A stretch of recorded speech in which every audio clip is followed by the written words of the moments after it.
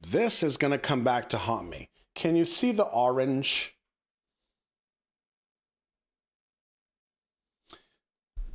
Quick story time. I was, God, this was a long time ago. I was with a girlfriend. We were,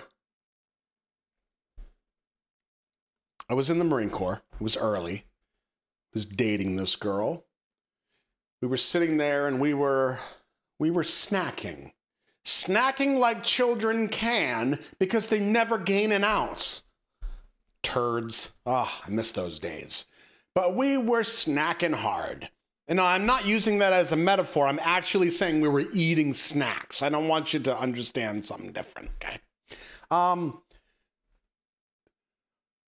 I don't remember what I was eating. I was eating probably some popcorn or something, some candy bars, some peanut butter M&Ms, and she was eating like a prison-sized bag of cheese doodles.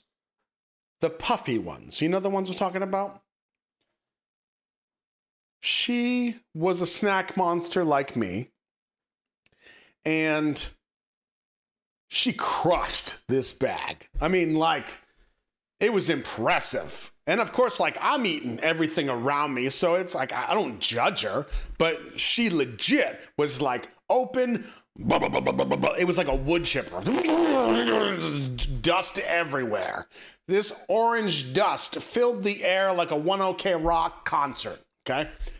And I'll never forget, we kind of finish snacking. Okay. She finishes the bag. She, she crumples it up, throws it in the trash can, then she looks at me, and I'm sitting there and I'm just eating my M&Ms, watching a movie or something. Probably Dances with Wolves for the the 15th time, right? And then she looks at me and she kind of gives me this like seductive look. Now, I'm in full Eminem mode. Whatever you got going on over there is going to have to wait. I'm in Eminem mode. And she looks at me, gives me the stuff. And before I can be like, no, go sit in the car, she holds up her hand and she's got what is like pounds of orange cheese doodle dust on like I can't see her skin. It's just orange because she's been catcher's mitting these friggin' Cheetos into her face for the last half an hour. And I look at him, I'm like, oh, well, that's when she was like, I'm gonna make this sexy. Well, first of all, you're not.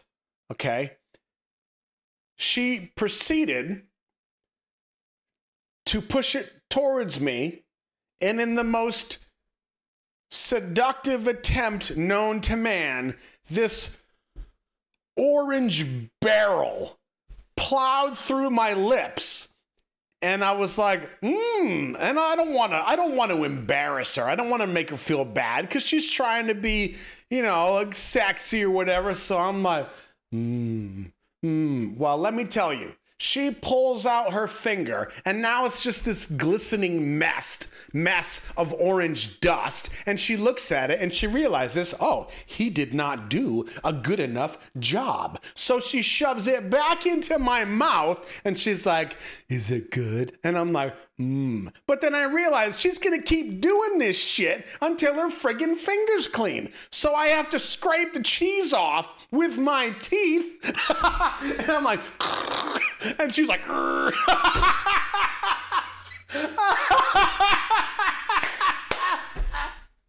and she pulled it out. She had like this racetrack of teeth marks in her finger. Got him. Oh, man.